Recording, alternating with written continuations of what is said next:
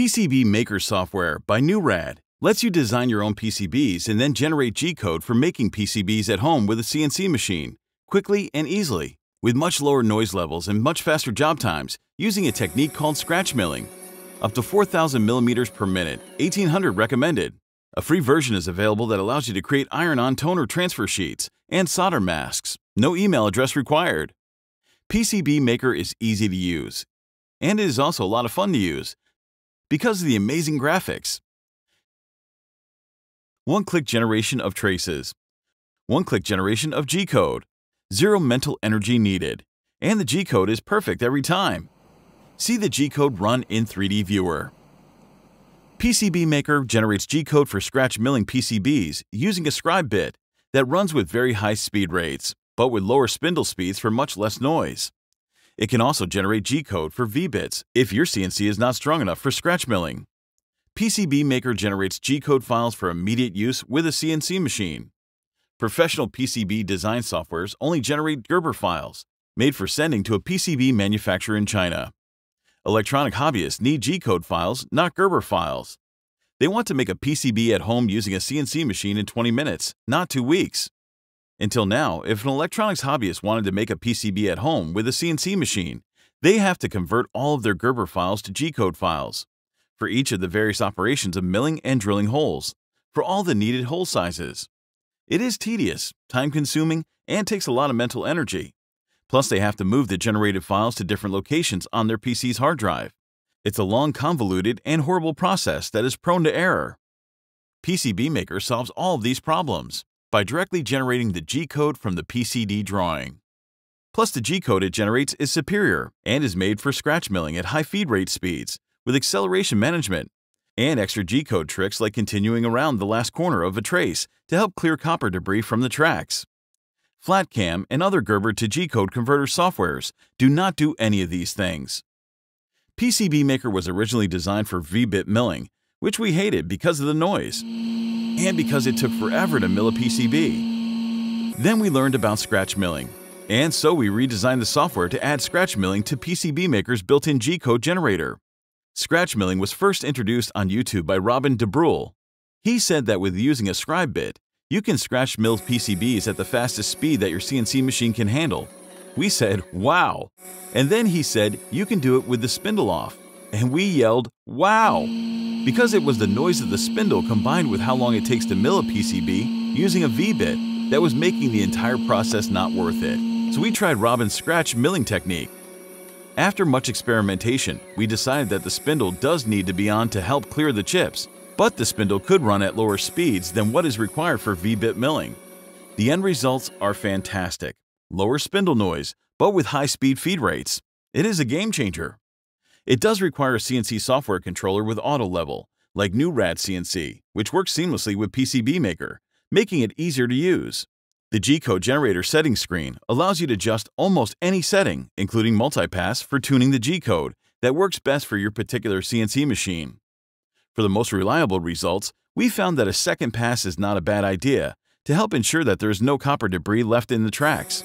But since the feed rate is so high, it still does not take that long. PCB Maker is easy to use, and it is also a lot of fun to use because of the amazing graphics. PCB Maker has by far the most realistic component graphics of all the competition. It includes all your favorite processor boards like Arduino. It includes all common components like IC chips, transistors, resistors, capacitors, diodes, LEDs, inductors, potentiometers, switches, pin headers, screw connectors, relays, etc., plus all the common and currently available modules for sensors, input devices, output devices, radios, memory, LED displays, audio amplifiers, motor drivers, cameras, etc. If a component is not included, then you can add it to the system, or just use a similar part, or simply use drill holes to represent the component. To add a new component not included in the software, Simply copy an image of the component to the appropriate component images directory, resize it to match the standard drill hole matrix, and then add drill holes.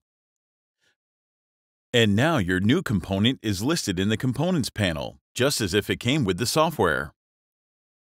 For users needing two-sided PCBs for more complex designs, we have a much easier solution, and that is to use a second PCB that connects to the first PCB using pin headers, similar to an Arduino shield. When designing a second layer PCB, PCB Maker will display the first layer faded, so that you can easily line up the second layer with the first layer, while easily discerning which layer is which.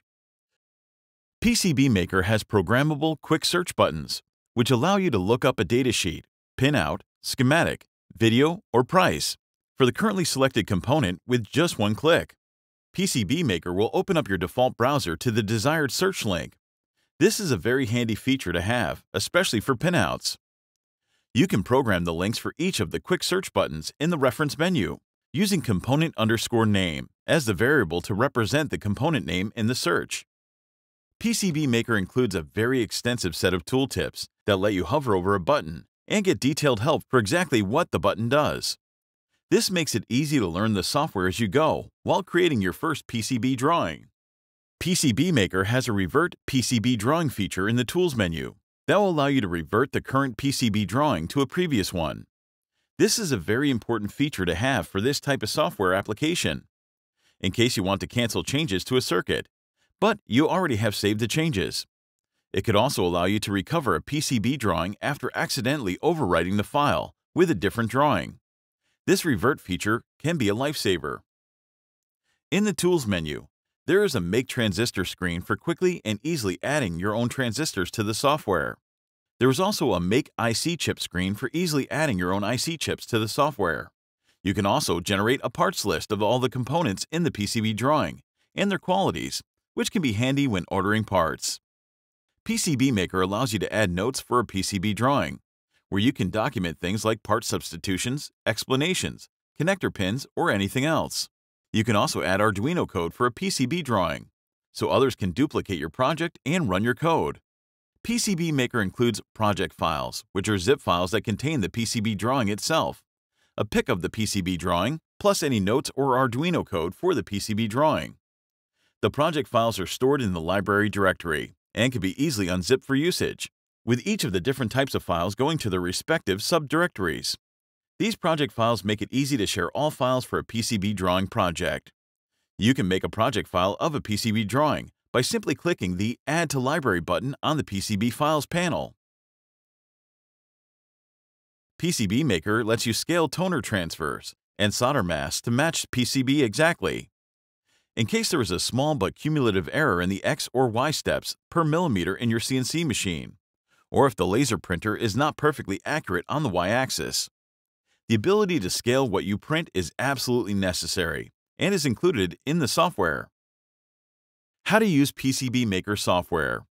To get started using PCB Maker, the main thing you need to know is that you must first select the object and then move it.